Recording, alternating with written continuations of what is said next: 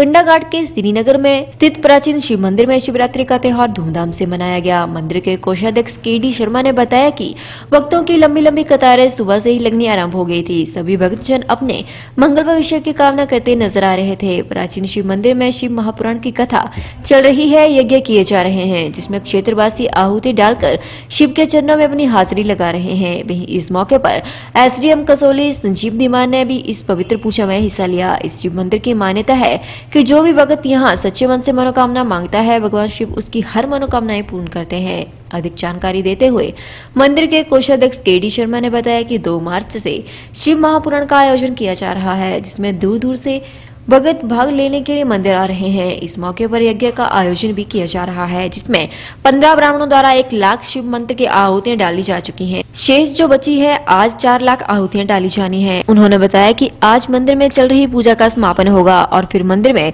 विशाल भंडारे का आयोजन किया जाएगा। के श्रीनगर स्थित प्राचीन शिव मंदिर में मंदिर कमेटी द्वारा गत वर्षों की भांति, इस वर्ष भी दिनांक 2 मार्च 2021 से 12 मार्च 2021 तक श्री शिव महापुराण का आयोजन किया जा रहा है।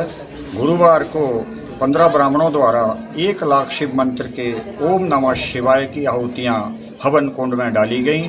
शुक्रवार को शेष चार लाख शिव मंत्रों की आहुतियाँ हवन कुंड में डाली जाएँगी। गुरुवार को एसडीएम कसौली डॉक्टर संजीव धीमान विशेष रूप से हवन में अपनी आहुति दर्ज कराई। शुक्रवार को श्री शिव महापुराण के समापन के पश्चात मंदिर कमेटी द्वारा विशाल भंडारे का आयोजन किया जाएगा।